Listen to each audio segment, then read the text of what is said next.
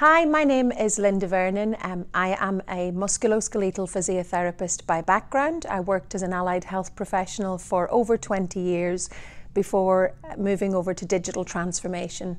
I now work as a clinical informatician, so I am supporting our clinical workforce, including allied health professionals, and our patients and citizens to use digital tools to manage their health and well-being and to work more efficiently. I believe that Allied health professionals are wonderful innovators.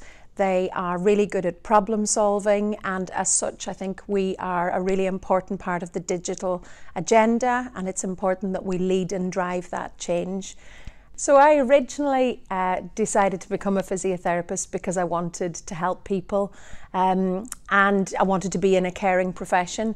But the reason that I then decided to move into digital is because I wanted to be able to help more than one person at a time and to use my time and my skills and all the experience I had gained in a clinical environment to be able to help people at scale and to help to improve the health of the population rather than one patient um, per per slot. Um, and I think that it's really good that there are clinicians leading in digital.